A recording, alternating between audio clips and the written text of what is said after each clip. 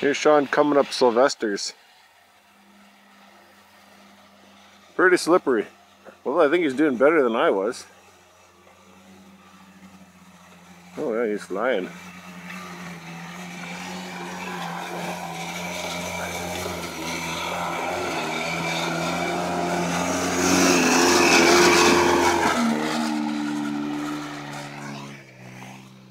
Alright, here's Bruno in the Kawasaki.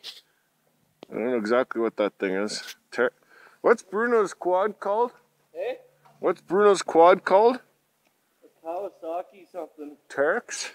What? Is it called a Teryx? You clawed up there really good, eh? Yeah, no problem. Watching you, I thought it was gonna be a fucking struggle. Well, yeah, I was really struggling compared to you. Were you in high or low? Low. No, I was in low. You had an easier time than I did. Yeah, it just chowed up through there. Chowder? Chowder up?